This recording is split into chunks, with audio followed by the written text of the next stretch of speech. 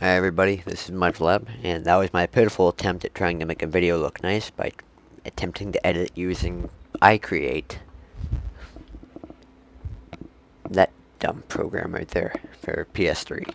Anyway, uh, if you did the, uh, this is going to be my first video tutorial on uh, installing and running apps and programs on a PSP.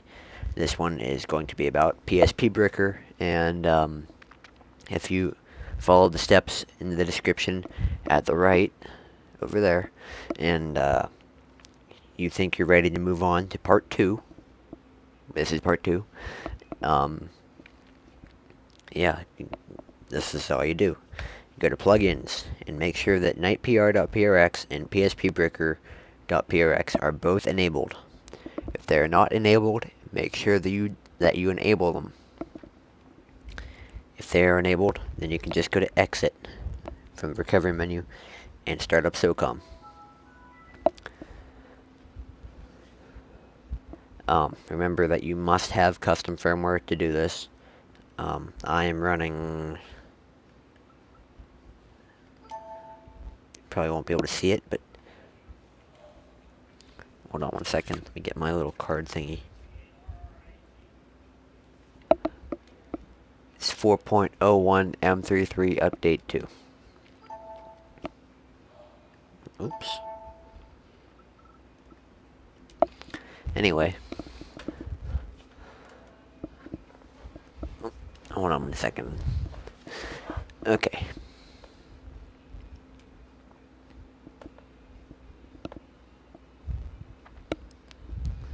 Yeah, this is a pretty easy program to understand. Um, if I bring up my, um, if I press the PS button on my PS3, my controller, it'll pause the video. So I can't show you who helped me out with this in the beginning, but his name is KA-Hazard.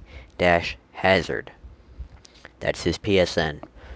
Um, he is the um, administrator, I think, on the of the, um, the website in the description at the right where you downloaded that file from. That he is the one that made the file. So thank him, don't thank me. Okay?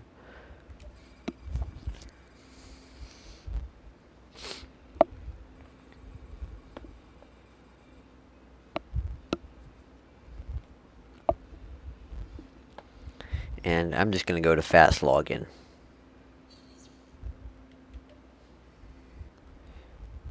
And make sure that you don't have to make sure, but I always make sure my cheat HZ, whatever that is, I make sure that's at 15 slash 1000 seconds. Oh, you need to make sure that every other code you have is turned off.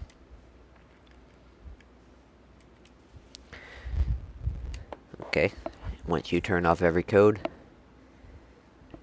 then um, I suggest making your own room but you can go into an E-Seals room or whatever.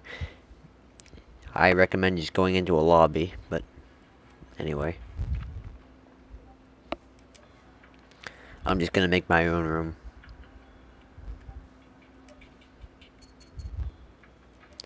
Yes, it does say let's get naked.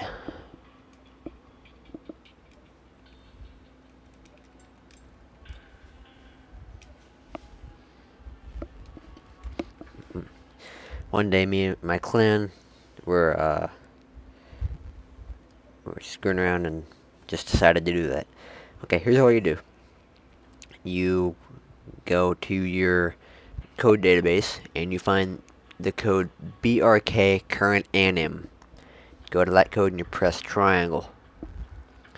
Okay, there's only one address, so just press select and it says copy and paste.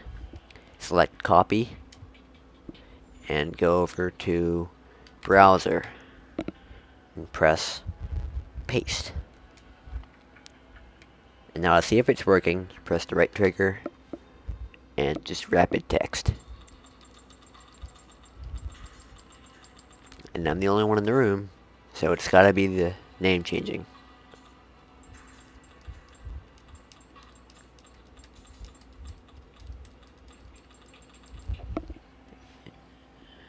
If you want to change it to your next one,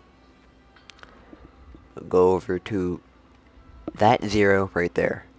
And you can change that to a 1 or whatever you want to do. Whatever the next one in your lineup is.